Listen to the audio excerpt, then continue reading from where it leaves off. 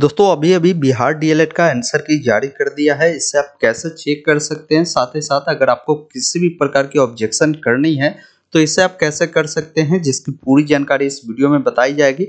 और यहाँ पर सभी कैंडिडेट को एक बार ज़रूर मिलान करना है। ये आंसर की के बाद ही आपका जो है फाइनल रिज़ल्ट जारी होगी। इसे चेक करने के लिए आपको सबसे पहले अपने मोबाइल या लैपटॉप में गूगल ओपन करना होगा। गूगल में टाइप करना होगा। ऑनलाइन अपडेट एसटीएम जैसे ही आप इतना लिखते हैं, आपके सामने फ़र्स्ट वेबसाइट मिलेगा ऑनलाइन अपडेट एस का, जिसको ओपन करना है। और नीचे लेटेस्ट अपडेट में या नीचे जब आप आएँगे रिज़ल्ट वाले सेक्शन में भी आपको मिलेगा। Bihar D DElEd entrance exam answer key जिसके सामने आपको क्लिक करना है।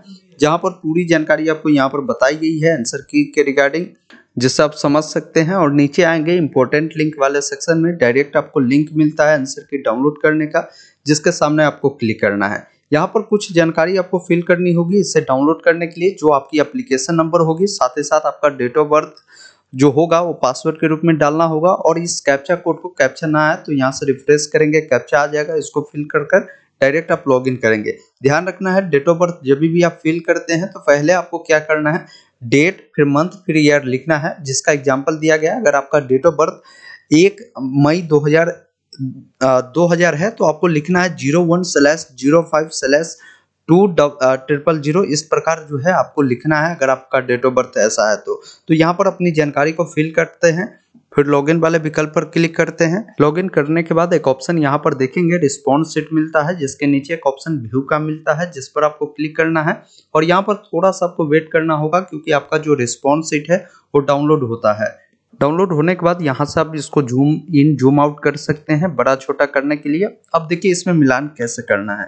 जैसा आपके क्वेश्चन नंबर वन है, जिसका आप देखेंगे, आपकी क्वेश्चन आईडी यहाँ पर देखने को मिलता है। ये पाँच क्वेश्चन आईडी है। अब इसका आपने जवाब कौन सा दिया है, वो यहाँ पर आपको टिक देखने को मिलता है। और इसका देखिए राइट क्वेश्चन आईडी कौन सा है, यहाँ पर आपको बताया गया कि ये पाँच हज़ार चार है। मतलब कि आपका क्वेश्चन नंबर इनका जो सी है, जैसे क्वेश्चन आईडी फाइव का राइट आंसर आपका हो जाएगा सी नंबर जो कि क्वेश्चन आईडी के अनुसार मिलान कर सकते हैं। अगर आपने इन कैंडिडेट ने बी मारा है तो इसका मतलब ये रॉन्ग आंसर है। इसी प्रकार फिर अगला प्रश्न आप देखेंगे। क्वेश्चन नंबर दो का आईडी जो है बीस है। और इसका जो राइट आंसर आपको बताया गया कि आपका जो है लास्ट में ज़ीरो चार है तो इसमें देख लीजिए लास्ट में ज़ीरो चार कौन सा है? ये लास्ट वाला मतलब डी है, ये डी राइट इनका आंसर है। आप कौन से मारे हैं, वो देख पाएँगे। तो इस प्रकार इसमें मिलान कर सकते हैं आपके कितने सही हो रहे हैं और कितने गलत हो रहे हैं। इसी अनुसार आपका रिज़ल्ट जो है जारी होगी, उसमें जानकारी मिलेगी। अगर आपको किसी भी क्वेश्चन पे डाउट है कि नहीं, इसका जो राइट आंसर हमने सही मारा है और इनके द्वारा गलत दिया गया तो ऐसे स्थिति में आप ऑब्जेक्शन कर सकते हैं। ऑब्जेक्शन के लिए यहाँ पर एक ऑप्शन मिलता है। ऑब्जेक्शन का जिसके सामने आपको क्लिक करना है। और यहाँ पर दो डिटेल आपसे पूछी जाती है ऑब्जेक्शन करने के लिए। पहला जो डिटेल है आपको बताना होगा कि क्वेश्चन आईडी कौन सा है। जैसे एक नंबर प्रश्न का हमने क्वेश्चन आईडी दिखाया कि वो पाँच है। और इसमें अगर आपको ऑब्जेक्शन करना तो क्या लगता है क्वेश्चन गलत था?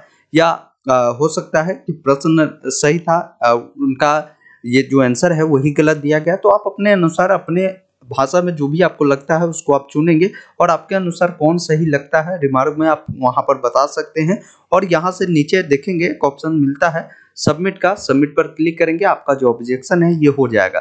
तो इस प्रकार आपको मिलान करना है, कोई गलत लगता है तो इसके लिए आप ऑब्जेक्शन कर सकते हैं।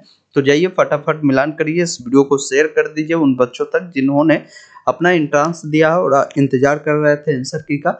वो चेक कर पाएँगे। जल्दी आपका रिज़ल्ट जारी होगी, जिसकी भी जानकारी आपको मिल जाएगी हमारे official website online updates से, जहाँ से आप रिज़ल्ट वाले सेक्शन में आकर अपना जो रिज़ल्ट है, वो चेक कर सकते हैं, जल्दी अपडेट कर दी जाएगी। आप लोग टेलीग्राम से जुड़ जाए, जहाँ पर आपको सारी अपडेट अपडेट कर दी जाएगी। धन्यवाद।